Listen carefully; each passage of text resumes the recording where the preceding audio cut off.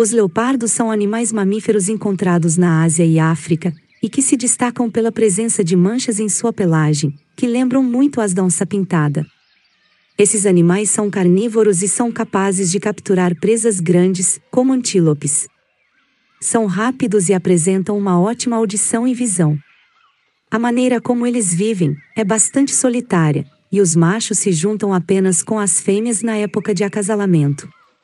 Depois disso, eles retornam ao seu modo de vida padrão, não tendo influência alguma na criação de seus progenitores. Os leopardos apresentam cerca de 2 metros de comprimento e podem pesar até 90 quilogramas.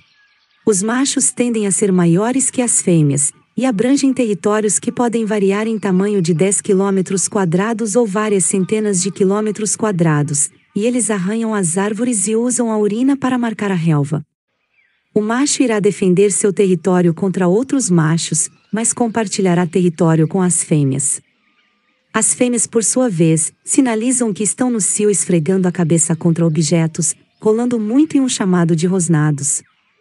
Essas pistas atraem o macho reprodutor residente, que se juntará a ela vários dias depois. A fêmea permanece no cio por 5 a 7 dias. Durante este tempo, o par irá se envolver em muitas perseguições em uma área relativamente pequena, e acasalam a cada 15 minutos que duram apenas alguns segundos cada.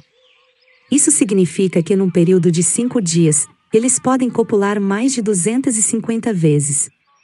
Embora isso possa ser um pouco excessivo em leopardos, as fêmeas precisam de um estímulo para iniciar a ovulação. Para estimular a fêmea a ovular, os leopardos machos têm farpas em seu pênis que penetram na fêmea. É por isso que a fêmea ataca o macho após acasalarem, porque é doloroso. Depois de um acasalamento bem-sucedido, que por sinal possui uma taxa de concepção baixa, a gestação dura aproximadamente três meses e nascem em média de dois a quatro filhotes. Esse é mais um vídeo do canal Fêmea Selvagem.